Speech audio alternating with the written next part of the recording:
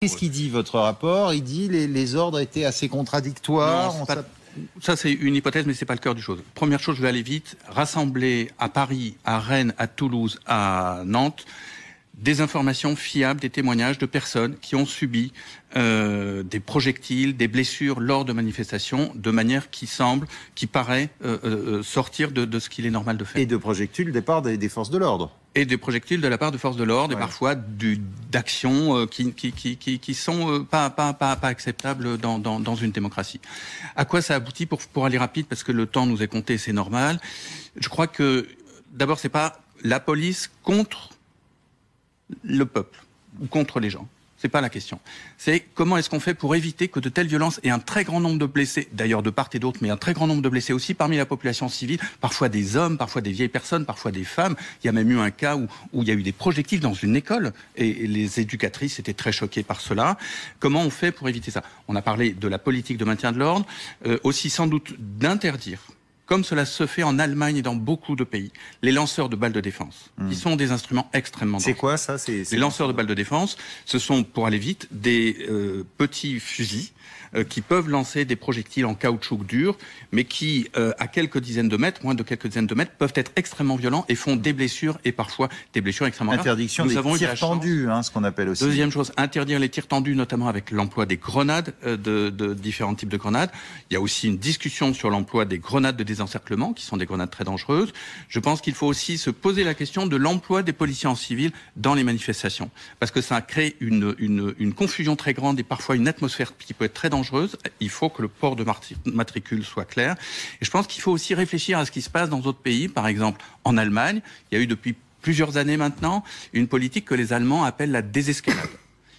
Ça consiste à chercher à calmer euh, euh, avant, à ne pas aller en confrontation, mais à chercher d'abord à calmer avec des policiers qui vont expliquer la situation. Mais comment on calme les casseurs qu'on a vus sur toutes les, mais, les, images, qui sont des sortes de professionnels Bon, hein on va dire. Euh, Qu'est-ce qu'on fait contre eux là Ces personnes qui ont choisi politiquement la violence, c'est leur choix, mais sont quand même une très petite minorité par rapport à l'ensemble des gens qui disent. Mmh. Par exemple, quand vous dites, Monsieur, euh, Monsieur, que il y a des personnes qui cassent du macadam euh, c'est un acte délictueux et il est tout à fait normal de les intéresser. On n'a pas à casser du macadam. Oui, et là-dessus, on nous voilà. dit bah oui, mais on n'a pas d'ordre de la préfecture. Ah, mais ça, c'est un autre très problème. Haut. Vous me demandez euh, attendez, réponse de Stanislas Godon sur tout ce qui vient d'être dit là. Oui, parce qu'il y a beaucoup du syndicat Police Alliance. Oui, encore une fois, un énième rapport euh, qui essaie de montrer du doigt les policiers et le travail des policiers. Euh, bon, il y en a eu quelques-uns, Stop Contrôle au faciès, euh, le rapport de la CAT, mm. dont on pourra peut-être parler.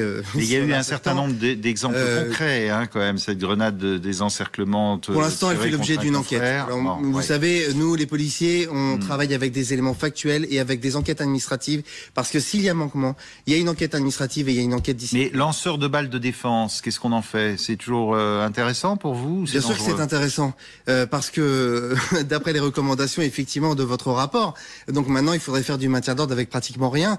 Euh, je suis désolé de vous le dire, mais là, ça va devenir très très compliqué.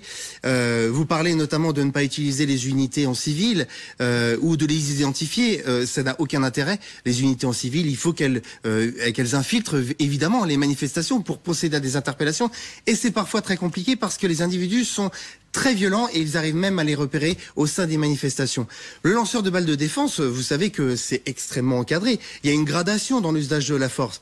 Et c'est pour ça que nous, on parle pas de violence policière, on parle d'usage de la force. Parce que soit enfin, il y a peut-être des bavures quand même, soit, ça peut exister. Non, soit elle est légitime, soit elle est illégitime. Quand il y a un manquement, et je peux vous garantir que dans la police nationale, nous sommes la police la plus contrôlée au monde. Nous avons cinq organismes de contrôle. Je ne connais aucun ministère qui a autant d'organismes de contrôle.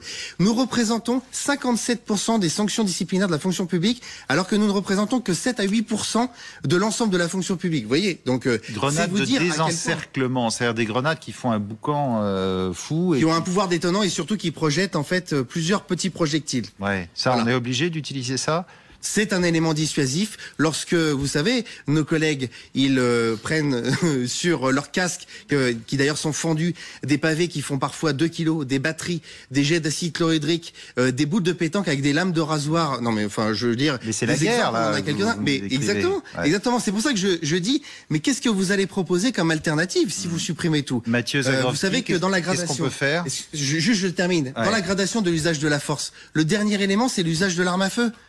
Donc il faudrait quand même pas, en arriver là. exactement. Voilà, donc c'est pour ça qu'il y a euh, l'usage de la force qui est gradué et qui commence avec l'usage du tonfa, du BTD, des gaz lacrymogènes, du canon à eau dont on pourrait parler.